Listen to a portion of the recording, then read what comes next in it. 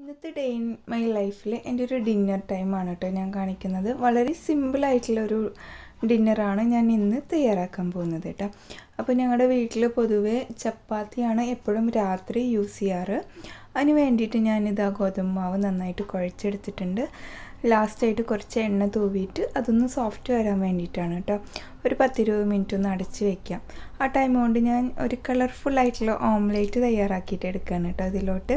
അപ്പോൾ മൂന്ന് variety capsicum ഉണ്ട്. അതുപോലെ വലിയുള്ളി പച്ചമുളക് ഇതെല്ലാം നന്നായിട്ട് ചെറുതാക്കി മുറിച്ചിട്ട് എടുക്കണം കേട്ടോ. അപ്പോൾ രാവിലെ ഉണ്ടാക്കിയ കടലക്കറിയും കൂടി ഉണ്ടായിരുന്നു. കൂടെ ഓംലേറ്റും ചപ്പാത്തിയും. ഇതാണ് ഇന്നത്തെ നമ്മുടെ വളരെ സിമ്പിളായിട്ടുള്ള ഡിന്നറ് സോ നമ്മളിവിടെ ഉള്ള വെജിറ്റബിളും ഇതുപോലെ കട്ട് ചെയ്തിട്ട് എടുക്കുന്നുണ്ട്. ഇനി നമുക്കൊരു ബൗളിലോട്ട് ഈ വെജിറ്റബിളെല്ലാം ആക്കി കൊടുക്കണം. ശേഷം ഞാൻ ഒരു മൂന്ന് എഗ്ഗ് പൊട്ടിച്ചൊഴിക്കുകയാണ്. ഇനി നമുക്കിതിലോട്ട് ആവശ്യമുള്ള കുരുമുളക് പൊടിയും ഉപ്പും കൂടെയും ചേർത്ത് കൊടുക്കണം കേട്ടോ.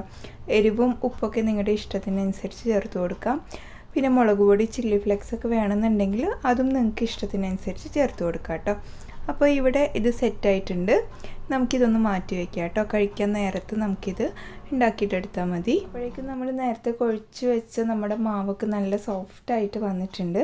ഇനി നമുക്കതെല്ലാം പരത്തിയിട്ട് ചുട്ടെടുക്കണം കേട്ടോ. അപ്പോൾ ഞാനിവിടെ ചപ്പാത്തി കുറേ നാളായിട്ട് ഉണ്ടാക്കുന്ന ഒരു ഡിഷായതുകൊണ്ട് തന്നെ വളരെ ഈസിയാണ് എനിക്കത് തയ്യാറാക്കാൻ.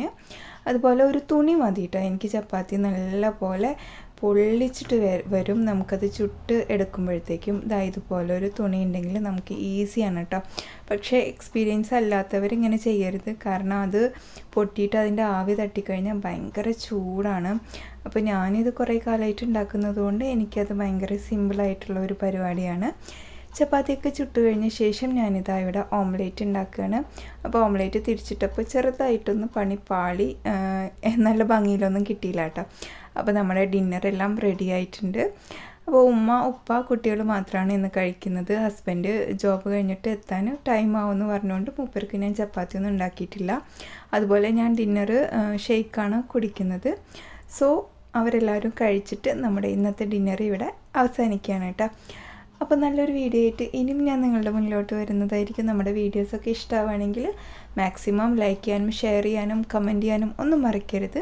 അപ്പോൾ മറ്റൊരു വീഡിയോയിൽ കാണാം. അതുവരേക്കും എല്ലാവർക്കും ബായ്